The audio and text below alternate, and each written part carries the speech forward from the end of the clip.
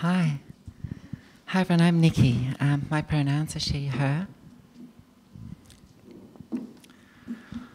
Um, I'd like to perform for you tonight a poem I call um, Asexual Love Poem.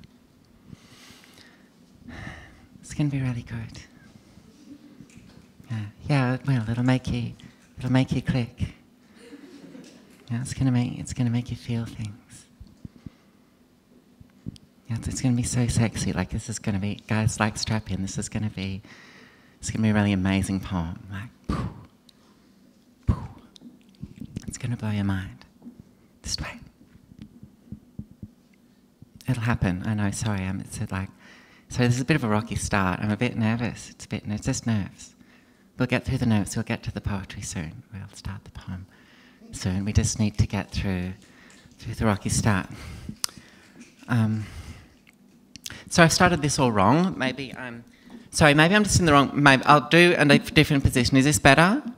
Are we feeling the poetry yet? Is this, is this happening? What if I do it louder?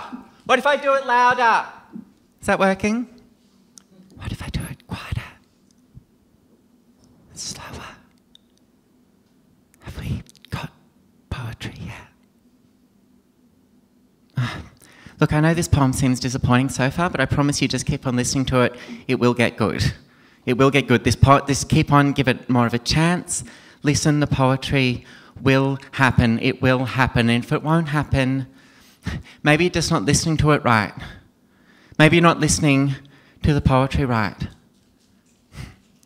Or maybe, I'm sorry, I'm sorry, I'm being harsh. Maybe, maybe you had bad experience with poetry in the past.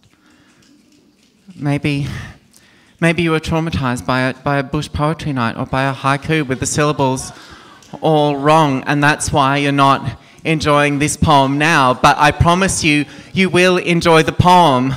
I can make you enjoy this poem. What is wrong? Why aren't you enjoying this poem? It is a problem with your ears. Maybe it's that. Your ears are just frigid. Your ears are fucked up. It's you that's the problem.